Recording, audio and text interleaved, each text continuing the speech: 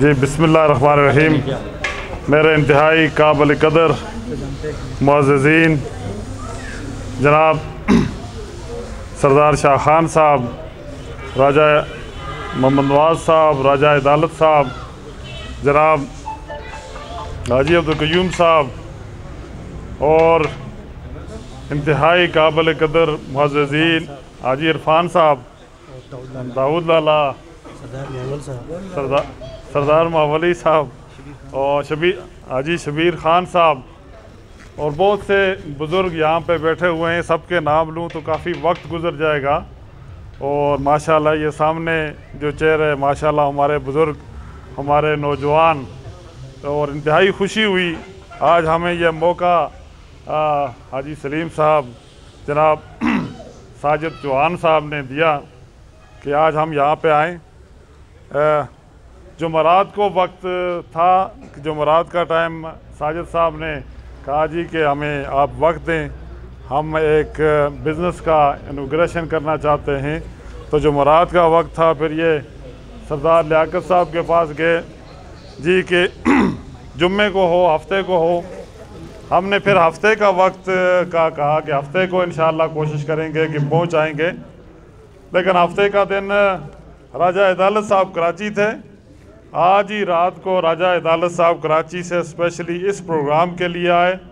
हम उनका भी शुक्रिया अदा करते हैं और आप सबका शुक्रिया अदा करते हैं कि आपको काफ़ी दिनों तक इन्होंने होल्ड किया कि आज अफ्ताह होता है, कल अफ्ताह होता है।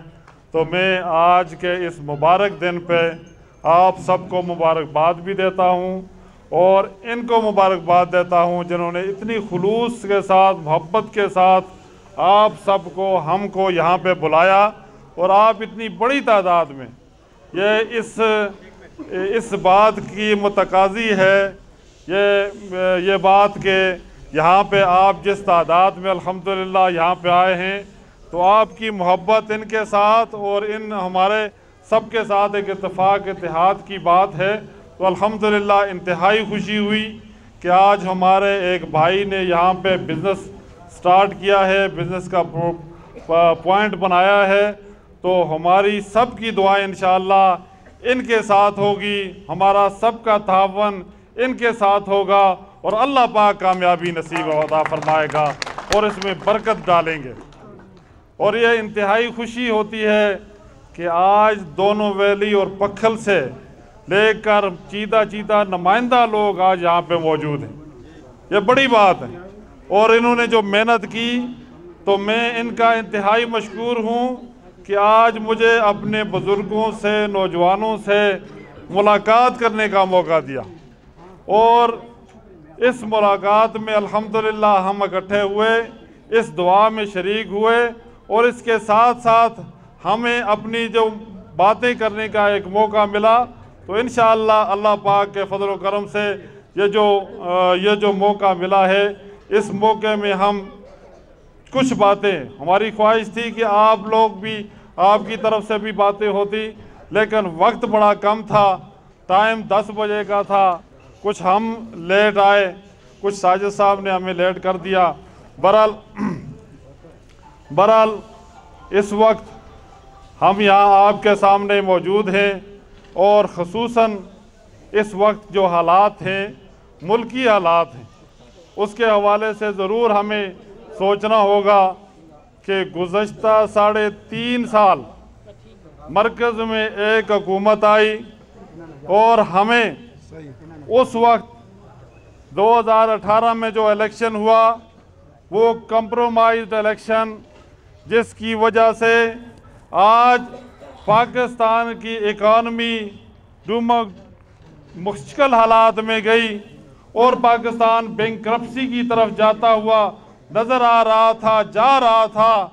लेकिन उसके बाद पाकिस्तान की सारी पार्टियों ने मिलकर ये कोशिश की और एक जमहूरी तरीके से उस वक्त की जो हकूमत थी, उस हकूमत को हटाया और अल्हम्दुलिल्लाह पाकिस्तान को बैंक से बचाया।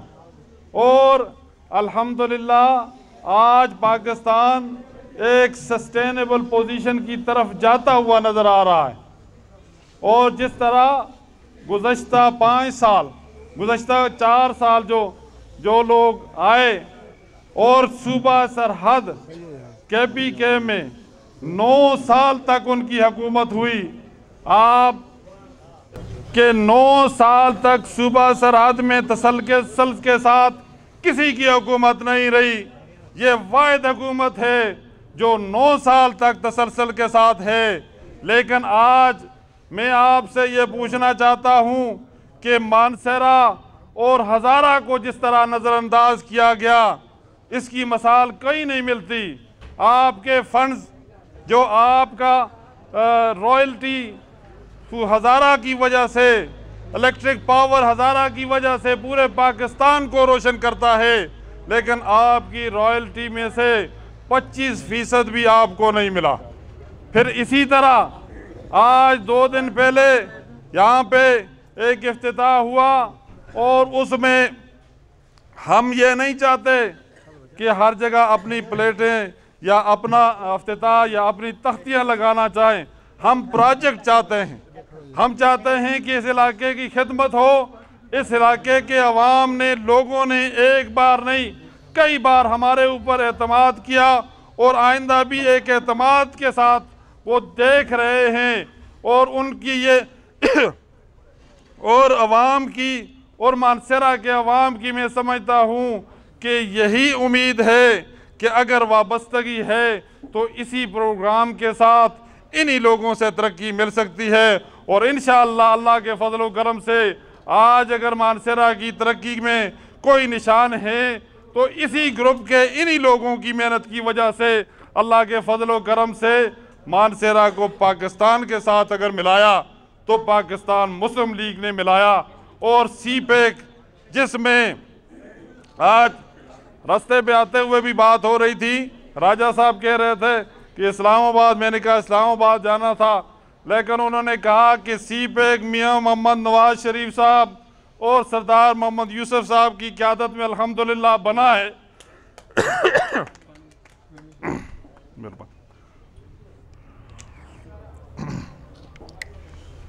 तो आप डेढ़ घंटा में, सवा घंटा में एयरपोर्ट तक जा पहुँचते हैं। यही वो यही वो मानसरा था। हम जब शारा रेशम पे जाते थे तो छः छः घंटे लग जाते थे। लेकिन इसके साथ साथ अपोजिशन में तीन साल रहे। लेकिन तीन साल के बाद जब हुकूमत आई तो सबसे पहले मानसरा की आवाम को मानसरा के शहर के लिए साढ़े सतारह अरब रुपए का जो प्रोजेक्ट अल्हम्दुलिल्लाह पानी का दिया तो ये भी आपको आपके सिरे को जाता है। तो इस वजह से इसके बाद आज यहाँ पे शिकायत आती हैं कि इचड़िया में गैस की पाइपलाइन नहीं लग रही तमा में नहीं लग रही, टांडा में नहीं लग रही शनकारी के मुजाफात में नहीं लग रही। मैं आपसे एक बात करता हूँ और बड़े दुख के साथ ये बात करता हूँ कि हमारे इन इलाकों में और बालाकोट तक साढ़े चार अरब रुपए के फंड्स मुख्त हो चुके थे, ट्रांसफ़र हो चुके थे। लेकिन गुज्त साढ़े चार सा, साढ़े तीन साल की ना ए लोगों की वजह से मैं मैं किसी के ऊपर शक नहीं करता लेकिन ना एलियत है जिसकी वजह से मैं ये बात करता हूँ और आपने ये पूछना चाहिए कि साढ़े चार सवा चार अरब रुपए का जो फंड यहाँ पे लगना था वो साढ़े चार साल में साढ़े तीन साल में क्यों नहीं लगा? अगर उगी में गैस का प्रोजेक्ट चल रहा है, तरावल में चल रहा है, वहाँ का एमएनए अपोजिशन में था, लेकिन वहाँ पे वो पेरा दे रहे थे। यहाँ पे जो लोग मुंतखब हुए, जिन लोगों को मुंतखब कराया गया, उन्होंने आपका पेरा नहीं दिया। सिर्फ़ आपके खिलाफ और आपके कायदीन के खिलाफ बातें करने सीखी थी। और सिर्फ़ यही कह रहे यही बातें थी। तो इसकी वजह से आज दोबारा से इन वो तरक्की का सफ़र शुरू हो चुका है। इन इन सी पैक भी बहाल होगा। आज ये जिस तरह आज हम ये खुशी मना रहे हैं, इसी तरह की खुशियाँ आती रहेंगी। सुई गैस के इन प्रोजेक्ट, क्योंकि इमरान खान ने बंद किए हुए हैं, इस वजह से कोशिश है कि जल्द अज जल्द शुरू किए जाएँ। और मियाँ शहबाज शरीफ साहब वज़ी अजम पाकिस्तान ने मनसरा में आके आपसे गुजार आपको कहा था कि इंशाल्लाह शुरू करेंगे तो, तो इंशाल्लाह वो भी शुरू करेंगे। इसके साथ साथ बिजली के प्रोजेक्ट और बाकी जितने भी प्रोजेक्ट हैं अल्लाह के फजल से शुरू होंगे। लेकिन जो लोग आज ये बात कर रहे हैं कि हम सूबाई असम्बलियों से इस्तीफ़ा देते हैं और मरकज़ी असम्बली चली जाएगी अगर सारी सूबाई असम्बलियाँ भी चली जाएँ तो आइन में मरकज़ी असम्बली कभी नहीं जाती। जो लोग ये कहते थे कि 28 27 किलोमीटर का वज़ीर अजम है, आज दुनिया में उसको 27 किलोमीटर नहीं, पाकिस्तान का वज़ीर अजम लोग मानते हैं। और ये एक मुसलमा हकीकत है कि अगर सूबों सूबों का काम इम्प्लीमेंटेशन करवाना होता है, सूबों का काम मुल्क में, मुल्की मुल्की मामलात में मुदाखलत करनी नहीं होती, लेकिन यहाँ पे मुदाखलत की जा रही है। अगर सूबाई असम्बलियाँ असम्बलियों से इस्तीफ़े दे दिए गए तो इन सूबाई असम्बलियों में इलेक्शन भी करवाएँगे और इन पी डी एम के प्लेटफार्म पर इन सूबों में हुकूमत भी हमारी बनेगी। तो जहाँ तक जहाँ तक बात यह है कि यहाँ पे कोई डर की बात नहीं। इन अल्लाह के फजल से अल्लाह के फजल करम से अगला, अगली हुकूमत भी पी डी एम के प्लेटफार्म से इन आएगी। वो सिंगल पेज वाला फार्मूला ख़त्म हो चुका। उन्होंने ख़ुद बता दिया कि हम पॉलिटिक्स में नहीं आएँगे इन और इन पाकिस्तान में अब जो सियासत होगी, वो साफ़ सुथरी होगी इन और अल्लाह पाक के फजल करम से अवाम की हकूमत होगी, और आपकी तर्जुमानी होगी। इसके साथ साथ मैं खसूस मानसरा की आवाम का और आप सब का पखल बफा पखल की आवाम का शुक्रिया अदा करता हूँ कि इलेक्शन के बाद हम किसी जगह इस तरह इकट्ठे नहीं हुए और सरदार शाह खान साहब ने पहले आपसे बात भी की कि बलदियाती इलेक्शन में हुकूमत के अगेंस्ट, अल्हम्दुलिल्लाह, ज़िला मानसरा में आपने भरपूर हिस्सा लेकर और पाकिस्तान मुस्लिम लीग के कैंडिडेट्स को कामयाब करवाया। और उसमें हम आपका शुक्रिया भी अदा करते हैं। और इन जिस तरह से सूबाई हुकूमतें, हुकूमत ने पहले दफ़ा कोशिश की थी कि जिस तरह पहला लॉ बनाया था लोकल गवर्नमेंट के हवाले से कि लोकल अख्तियार लोकल गवर्नमेंट को होंगे। और जिस वक्त उन्होंने समझा कि वो इलेक्शन में हार रहे हैं तो वो लोकल गवर्नमेंट के अख्तियार नाजमीन से चेयरमैन से छीन कर अपने पास रख लिए, इनके फंड्स भी अपने पास रख लिए, ये इंतहाई जुल्म की बात है। और इन इन अल्लाह ने फजल किया तो इसके लिए हर हर प्लेटफार्म पे हम भी आवाज़ उठाएँगे और आपसे गुजारिश करते हैं मारसेरा की आवाम से गुजारिश करते हैं कि किसी भी प्लेटफार्म पे अगर आपकी ज़रूरत होगी तो आप जाएँगे, अपने हकूक़ के लिए, फ़ंड्स के लिए जाएँगे तो इन ये आपका हक बनता है। ये आपका आपका आइनी और कानूनी हक बनता है। उसके लिए जदोजहद करना हमारा सबका फ़र्ज़ है। आपने अपने नुमाइंदे मंतखब किए और डायरेक्ट मुंतखब किए, अपने वोट से मुंतखब किए। और इन अल्लाह के फजल करम से ये नुमाइंदे भी हर जगह जाएँगे, इनके साथ हम भी जाएँगे और आपका हक ज़रूर आप तक लाने की जो जदोजहद है, उसमें कामयाब होंगे।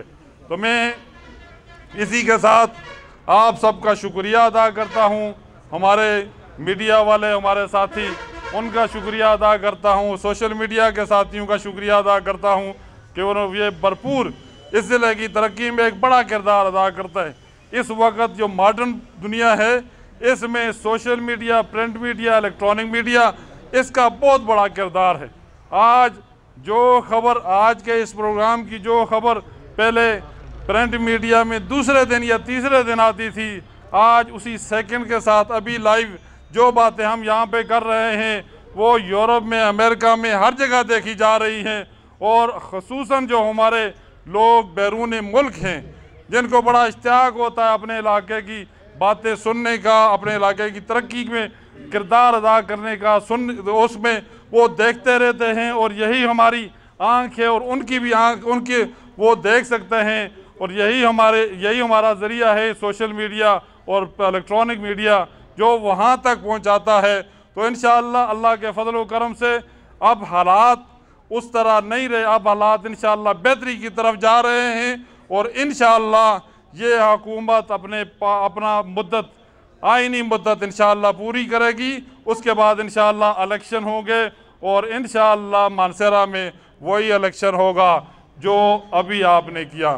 जिस तरह सरदार शाह खान साहब को आपने कामयाब किया, शेख शफ़ी साहब को आपने कामयाब किया और इसी तरह इसी तरह इब्राहिम शाह साहब को आपने कामयाब किया और अल्लाह के फजल करम से आइंदा भी कामयाबी आपकी होगी।